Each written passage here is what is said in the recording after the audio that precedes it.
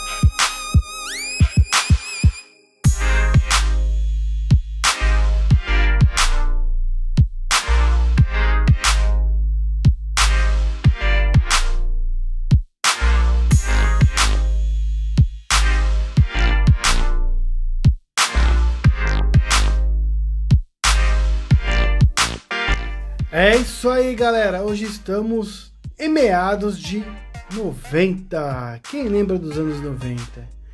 Estamos aí com duas carangas dos anos 90. Um da Volkswagen e o outro da Ford. Mas Leandro, por que você trouxe esses dois de marcas diferentes? Porque, galera, vocês vão reparar que eles são muito parecidos e a frente deles são idênticas porque era a época, para quem não conhece aí, da Alto Latina. Leandro, que é Alto Latina. Foi a época que se juntou a Volkswagen e a Ford. É isso mesmo, galera. Então eles compartilhavam peças, motores, né? Plataformas de carros. Tanto que eu vou dar um exemplo aqui que eu até falei num vídeo mostrando as revistas dos carros antigos. O Santana é, e o Versalhes, o Santana da Volkswagen e o Versalhes da Ford usavam a mesma plataforma, galera. E assim como o Polo, Apollo, aliás, né? Eu, eu tô com mania de chamar de Polo agora. Assim como o Apollo e o Verona. A mesma plataforma, galera. Idênticos.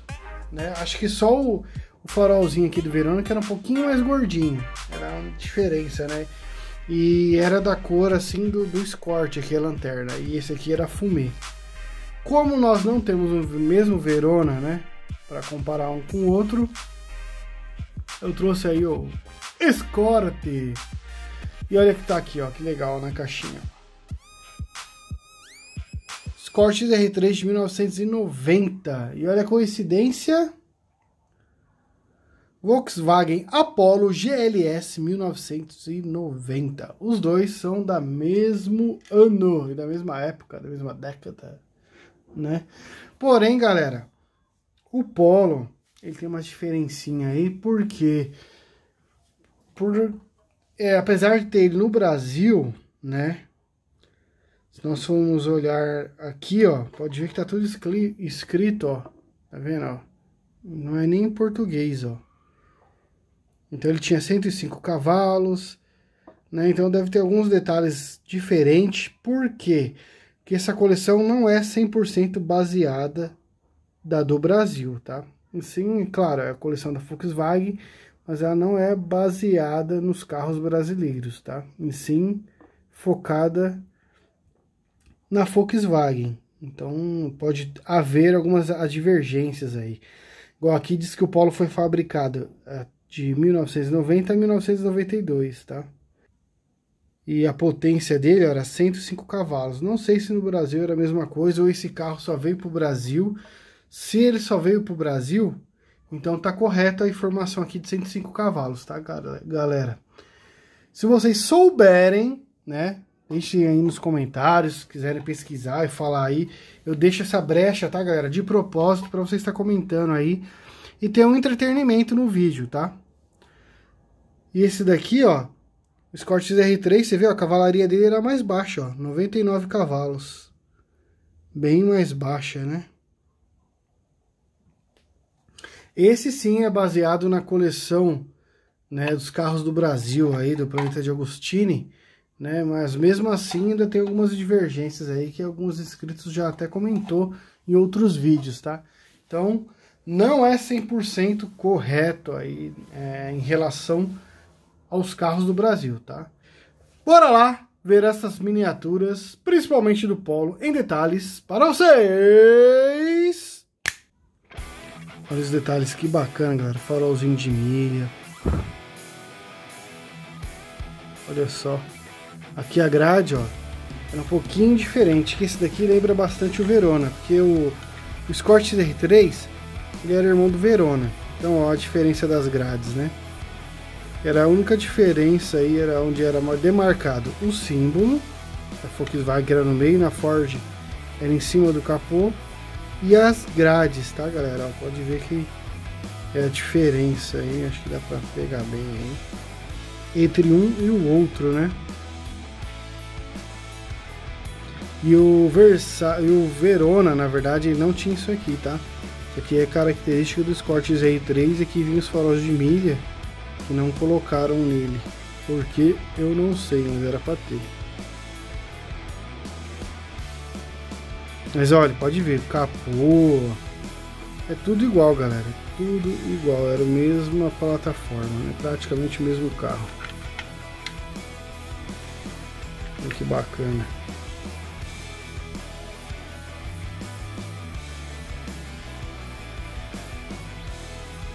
Na do Brasil, galera, como nós vimos na revista, eu não sei se essa roda tá certa, mas era aquela BBS, né? E aqui mostra essa roda. Não sei se a BBS só veio no modelo de 93, mas eu não sei se aqui no Brasil o GLS, que era o topo de linha, vem com essa roda, não me lembro, tá? Olha os detalhinhos, galera, que bacana. Muito perfeito, né?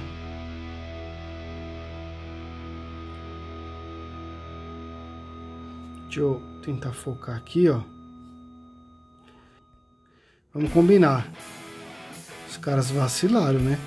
Como eles escrevem Apollo GLS aqui, da mesma cor do carro, né? Tinha que ser escrito em preto, né? Aí fica difícil de, de visualizar, fica camuflado na cor do carro. Uh, fica uma dica aí pro pessoal do Planeta de Agostinho aí, ó. Complicado isso aí, né? As coisas tudo preto aqui devia estar escrito em preto, ó. Né? Ou fizesse esse carro de uma outra cor, sei lá. um vinho, já pensou um vinho desse aqui, né? Ou sei lá, um, um preto, um vermelho, né?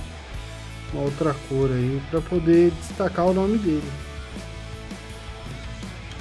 Olha por dentro, galera, que bacana. Deixa eu ligar o LED aqui pra gente ver melhor. Eu não vou conseguir ligar o LED. Mas olha, isso aqui era igualzinho do Verona, ó. Era o mesmo alto-falante, galera, que vinha no Verona. Quem teve Verona vai lembrar disso aí.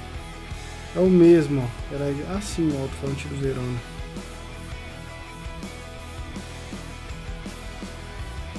Bem bacana com essa interna clara, né? Retrovisorzinho. Olha o tanque de combustível que barato. Ó, aqui, ó. Tá vendo, galera, ó? Não podia ser assim na parte traseira, ó. Vocês estão vendo, ó? GLS, ó. Meu, que vacilo do, do, do fabricante. Olha o símbolozinho aqui da Volkswagen, vocês conseguem enxergar? Bacana na roda. Tá vendo, ó? Tinha que ser aqui, ó. Escrito do mesmo jeito. Em preto, com, né, talvez uns relevo prateado, igual aqui, ó. Tinha que ter, tinha que ter escrevido aqui, ó. Né? Polo, Apollo GLS. Que fica praticamente invisível, ó. Você não consegue ver que tem um nome ali. E isso porque tá na câmera com alto zoom aqui. Imagina é, olho nu. Você não enxerga, você só vê um leve rabisco de longe. Mas é uma miniatura muito bem feita, tá galera? Muito bem feita mesmo. Aí, ó. Deixa eu tirar esse zoom aqui. Ó, Volkswagen Apollo, miniatura 1 por 43 Olha que legal esse pedacinho cromado que eles fizeram. Bem bacana, né? Bem bacana mesmo. Eu gostei pra caramba. Isso aqui é pra ferrar a vida do cara. Vocês viram isso aqui, ó? Olha como é que é para você conseguir abrir a miniatura. Tem que ter uma chave específica. Que não é qualquer uma chave que você vai conseguir mexer na miniatura não. Eita, nós, lascou, hein? Pior escortão. Escortão, acho que até tem ele no canal, não precisa nem... Mas ó, tá vendo ó, que diferença, ó? Escrito em preto aqui, ó. Né, ó. Meu, vacilo mesmo aí do, da fabricação do, da miniatura. Essas rodas aqui eu achei muito cheguei, né? Acaba. Tinha que ser uma mais escurinha, não cromada desse jeito, né? É um prata normal. E se fosse furadinho, galera, nossa, ia ser muito perfeito. Porque tem umas que eles fabricam assim, né? Toda furadinha, outras eles fazem de qualquer jeito. Não dá pra entender muito não, sei lá. Podia ter caprichinho melhor aqui. E nós que somos fãs de miniaturas, de carros, a gente gosta, né? Dos detalhes. Mas essa aqui é dos carros inesquecíveis do Brasil, né? Uma coleção ou especialista em carros do Brasil, né? Olha como que é aqui, ó. Score XR3, ó. Pode ver que é mais simples, né, galera? Ó. A da coleção específica, ela vem melhor. Igual a da GM, essa da Volkswagen. Mas tem umas miniaturas dessas assim mais antigas que o Planeta de Agostinho, né? Os carros. Falando dos carros inesquecíveis do Brasil, capricharam muito, cara. Tem carros aí que teve muito capricho, né? E teve outros que parece que foi feito mais ou menos. Não dá pra entender. Mas galera, o vídeo já tá longo, né? É isso aí. Espero que vocês tenham gostado. Vamos colocar aqui, ó, o macaquinho. O macaquinho aqui de frente o veículo, fazer um charme aqui, ó. É, estamos na oficina. Vem o polo pra cá. E é isso aí, galera. Vou deixar bem próximo aqui para vocês verem os detalhes aí das carangas. Meus queridos, ficam com Deus. Espero que vocês tenham gostado desse vídeo. E até o próximo. Tchau, tchau! Fui!